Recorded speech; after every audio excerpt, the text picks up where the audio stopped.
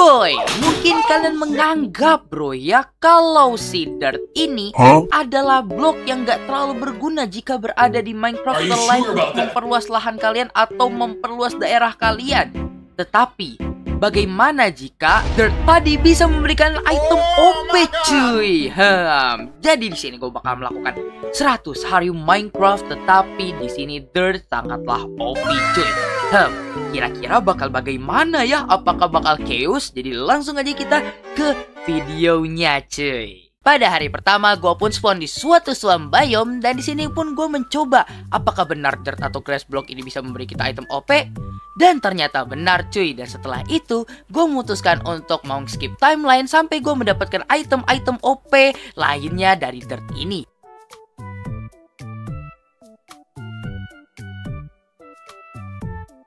Setelah mengumpulkan beberapa barang, di sini pun gua mengkill beberapa domba untuk membuat bed agar gua bisa tidur, coy. Setelah itu juga gua pun mengumpulkan beberapa kayu untuk membuat persiapan membuat rumah, coy. Dan tanpa gua sadari, ternyata hari pertama gua telah terlewati dan lu bisa lihat gua mendapatkan beberapa item armor kece. Pada hari selanjutnya di sini gua memutuskan untuk mencari beberapa blok-blok atau mencari bahan-bahan untuk membuat rumah dari netherite cuy.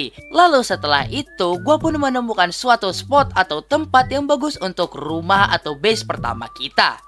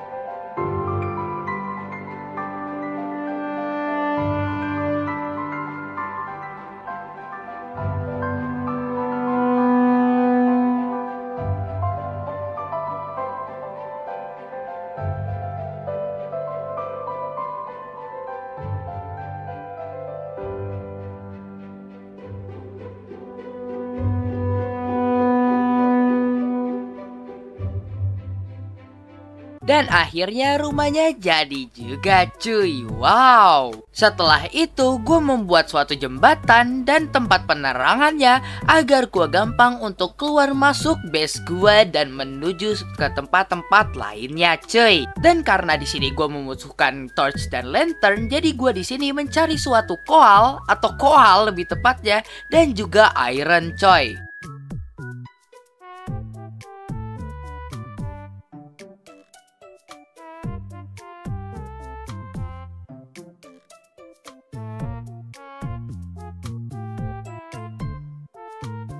Hah, akhirnya selesai juga gue miningnya dan di sini karena gue sudah merasa cukup, akhirnya gue memutuskan untuk kembali ke rumah. Dan tanpa sadar ternyata sudah malam saja cuy dan di sini gue buru-buru langsung tidur agar tidak diserang oleh monster. Lalu pada hari selanjutnya gue membuat beberapa kayu, membuat stick, membuat torch, dan membuat lantern pada akhirnya cuy. Dan lantern-lantern tadi gue gunakan untuk menerangkan jembatan dan juga rumah gua. Oh iya, karena rumah gua di sini tidak ada yang nama itu kaca, jadi gua memutuskan untuk mencari beberapa sen yang ada di suatu tempat karena di sini itu di swamp biome jadi susah buat menemukan sen. Huh, sepertinya di depan sana ada, nah ada desert biome, let's go.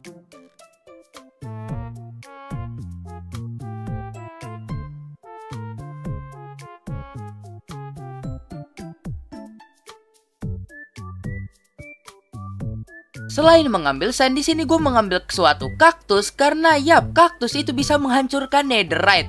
Karena flint and steel itu gak bisa ngehancurin netherite cuy. Karena di sini gue merasa cukup akhirnya gue mencari suatu firework karena gue di sini akan balik menggunakan elytra.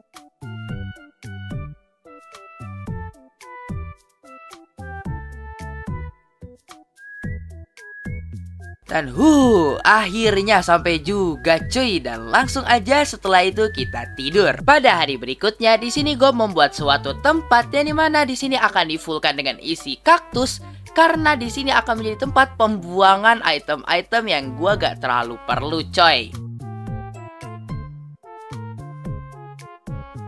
Setelah jadi, di sini gue langsung membuang item-item yang sekiranya gue gak perlu dengan alat pembuangan yang telah kita perbuat ini cuy.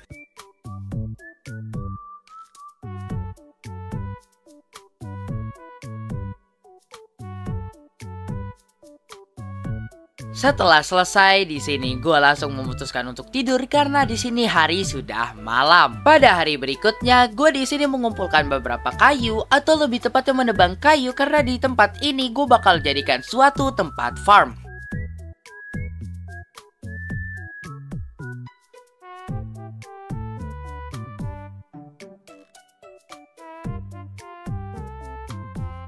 Oke, di sini gue kehabisan batu untuk membuat tempat farm gue, jadi gue langsung aja mencari beberapa batu lagi dan lagi.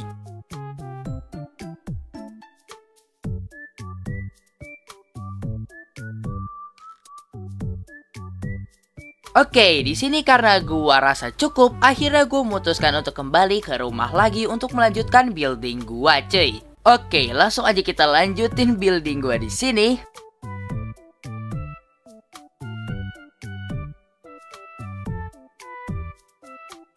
Oke, setelah farmnya jadi, gue di sini membuat suatu hu. Eh, sebentar. Emang netherite hu dibuat dari kayak gitu ya? Brah. Dan pada akhirnya gue membuat diamond hu untuk membajak farm gua cuy.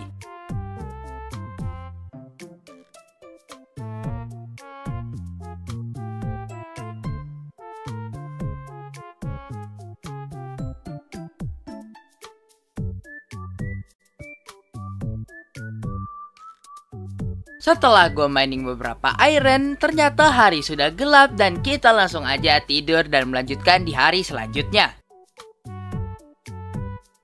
Pada hari selanjutnya, gue pun memasak iron-iron gue yang gue dapat tadi.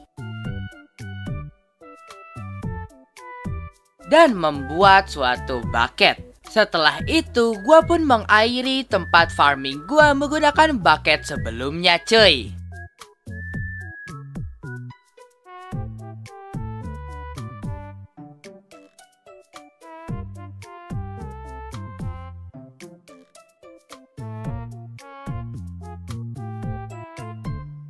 Dan setelah gua airi, gua langsung saja membajak tempat farm gua.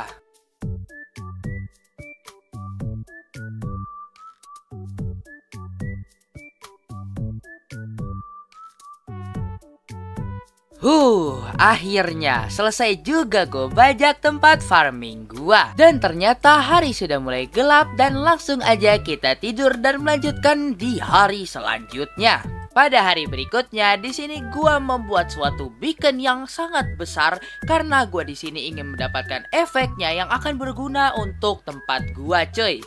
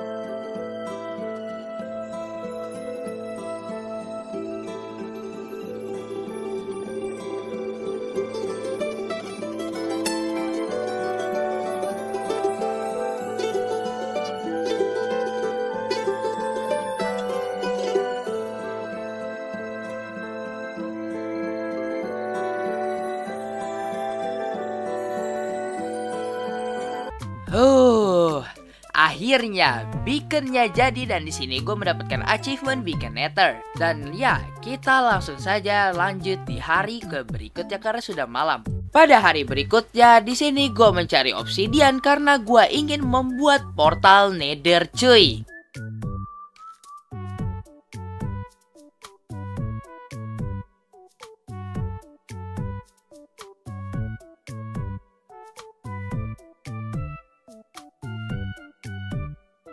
Dan wuh, sepertinya kita menemukan ruin portal nih. Oke, langsung aja kita ambil obsidian yang ada di ruin portal itu. Setelah selesai, di sini pun gua langsung saja balik ke rumah gua.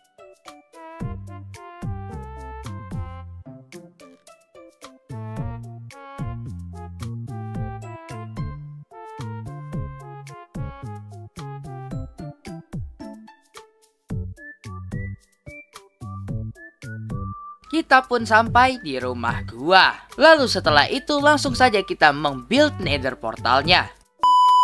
Dan akhirnya nether portal kita selesai cuy. Dan di sini gue membuat jalan untuk menuju ke nether portal gua dengan menggunakan shovel ini.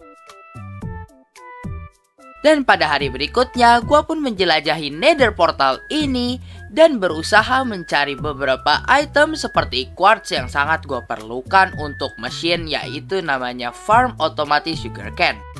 Dan akhirnya gue pun pulang ke rumah dengan mendapatkan beberapa item yang telah gue dapatkan dari nether sebelumnya cuy. Pada hari berikutnya di sini gua memutuskan untuk membuat tempat landing untuk membuat sugarcane farm cuy.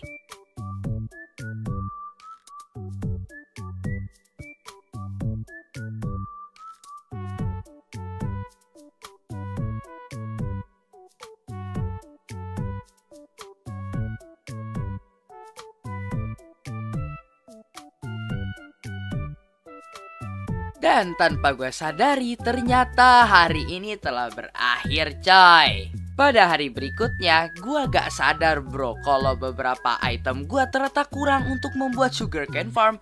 Jadi di sini gue memutuskan untuk mencari beberapa item yang gue butuhkan untuk membuat sugarcane farm.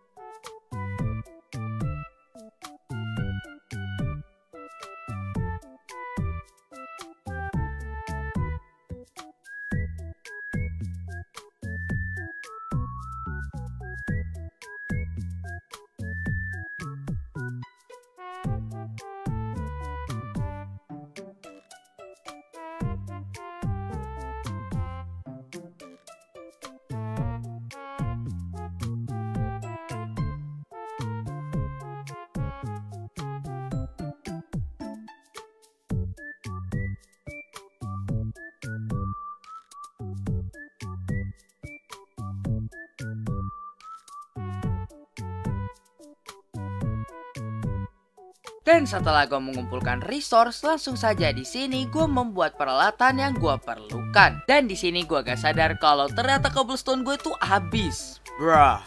Dan yap, setelah gue mining beberapa cobblestone dan akhirnya gue mendapatkan beberapa yang gue perlukan.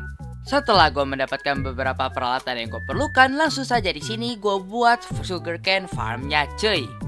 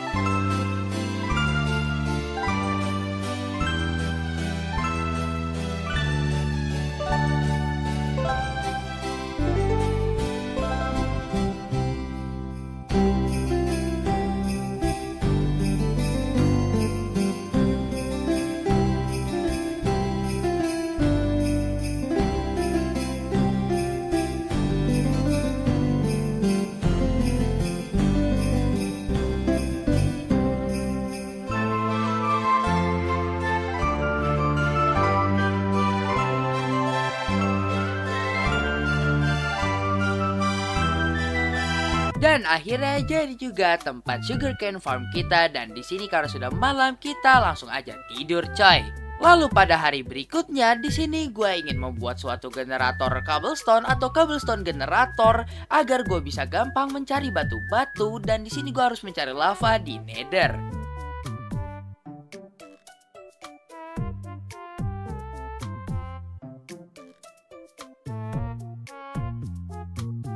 Dan setelah gue mendapatkan lavanya, di sini langsung saja kita mencari tempat dan membuat stone generatornya.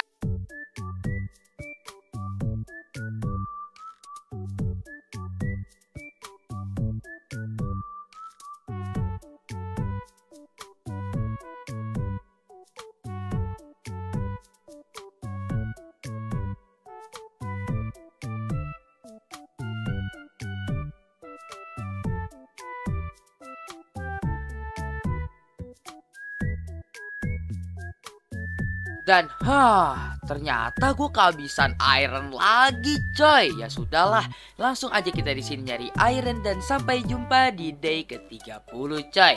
Pada day ke-30 di sini gue telah mendapatkan item-item yang gue butuhkan dan akhirnya gue sampai juga di rumah gue dan langsung aja gue tidur dan ya langsung aja kita ke hari ke berikutnya. Pada hari berikutnya di sini gue mau masak iron-iron yang telah gue dapatkan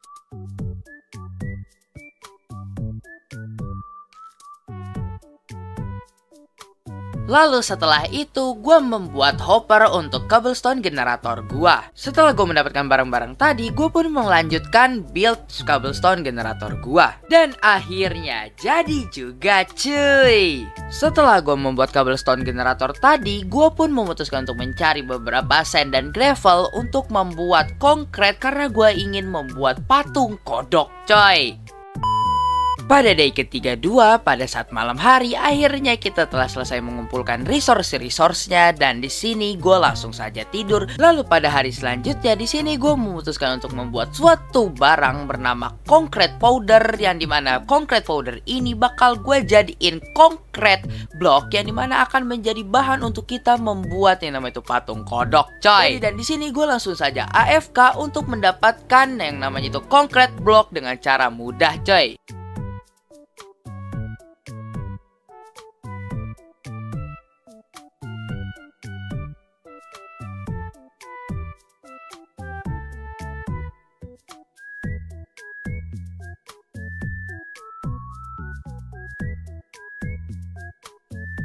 Akhirnya setelah lama sekali gue AFK untuk mendapatkan konkret blok ini Gue pun telah mendapatkan lumayan banyak konkret blok ini Dan langsung saja kita tidur untuk melanjutkan ke hari berikutnya. Pada hari berikutnya gue pun membuat tempat untuk membuat patung kodok tersebut coy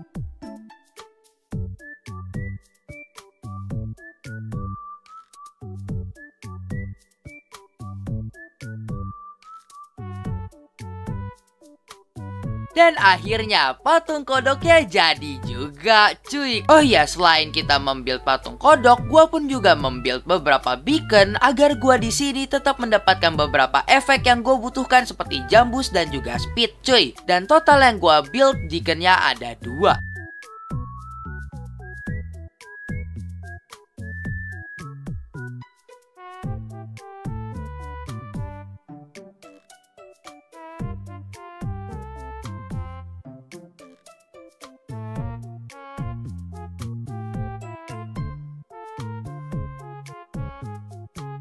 Pada hari berikutnya, di sini gue membuat shears untuk mendapatkan lift agar gue bisa membuat hiasan di dekat jalan gue di rumah gue, cuy.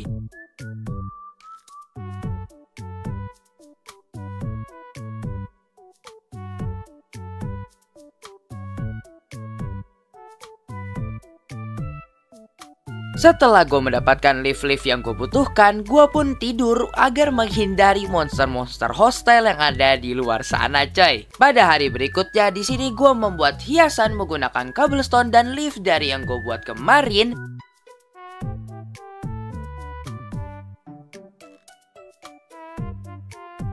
Dan tanpa gue sadari juga ternyata cobblestone gue habis dan di sini gue memutuskan untuk AFK untuk mendapatkan cobblestone cobblestone yang sangat banyak cuy.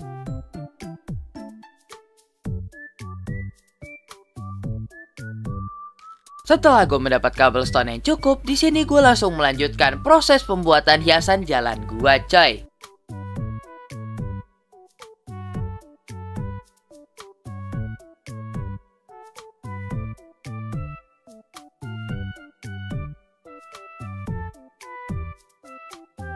Tanpa gue sadarin ternyata iron gue untuk membuat penerangan jalan berupa lantern itu habis bro. Dan di sini gue pun mencoba mencari resource-resource seperti iron lagi dan lagi. Dan akhirnya di sini gue telah mendapatkan iron yang gue butuhkan dan it's time to come back to home.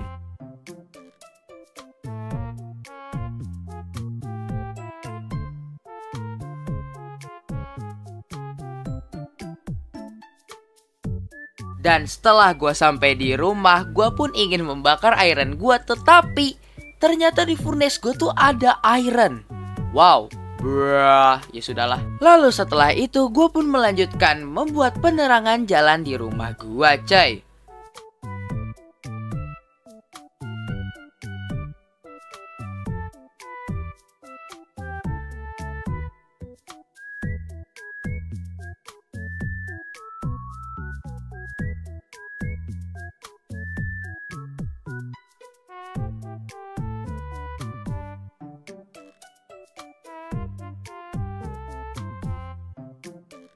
Dan Voila akhirnya jadi juga. Pada hari ini karena gue kekurangan resource, gue pun mencari beberapa resource lagi untuk membuat enchanting room cuy.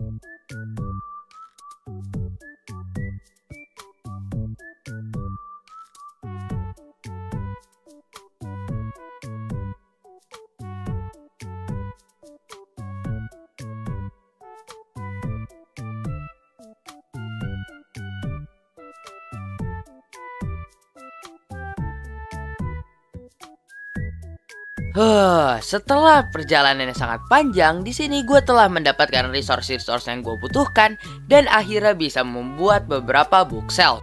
Setelah gue membuat bookshelf, gue pun mengumpulkan beberapa kayu untuk membuat enchanting room tersebut.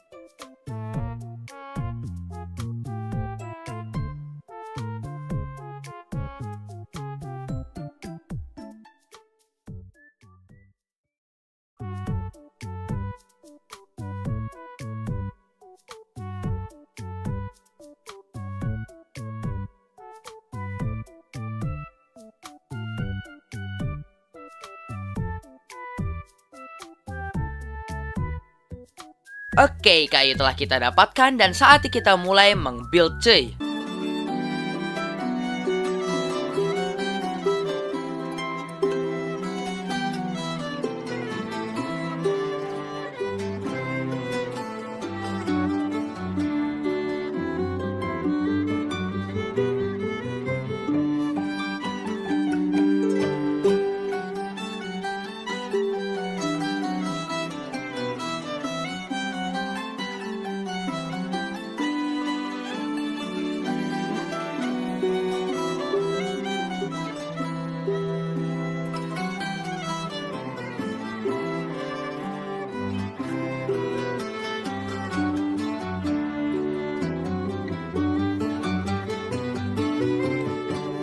Dan Voila coy, gila re, keren kali wa. Pada hari keempat enam, gua pun membuat cobblestone wall untuk menjadi bahan gua membuat kandang hewan cuy. Setelah itu, gua pun menyiapkan tempat-tempat gua untuk membuat kandang-kandang hewan yang gua butuhkan.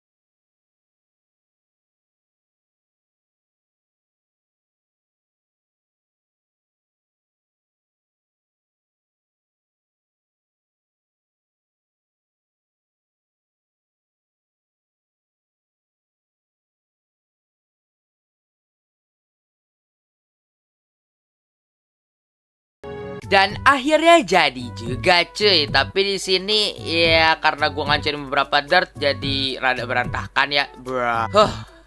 Akhirnya drop-dropannya telah kita selesaikan atau kita hilangkan coy Oke langsung saja kita tidur untuk melanjutkan ke hari berikutnya Keesokan harinya gua pun langsung mencari beberapa hewan yang gue butuhkan seperti sapi dan juga domba yang seharusnya ada di dekat sini coy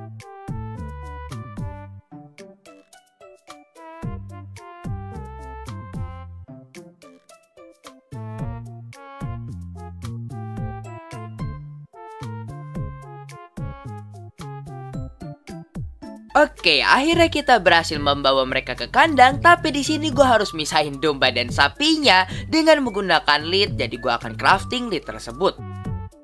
Oke, akhirnya setelah sangat lama dan akhirnya gue telah gue pisahkan mereka berdua ini spesiesnya cuy dan langsung aja kita tidur untuk melanjutkan ke hari berikutnya again. Keesokan harinya gue pun di sini memutuskan untuk AFK untuk mendapatkan cobblestone karena cobblestone ini akan sangat berguna untuk kita ke depannya cuy.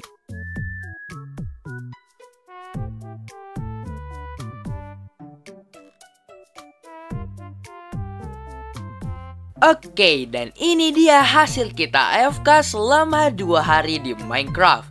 Uh, sangat banyak banget ya. Lalu setelah itu, gue pun memutuskan untuk tidur agar terhindar dari monster-monster jelek itu, coy. Pada keesokan harinya, di sini gue mengambil beberapa cobblestone yang ada di chest sebelumnya untuk membuat suatu struktur yang namanya itu patung moai atau emot batu ini, coy.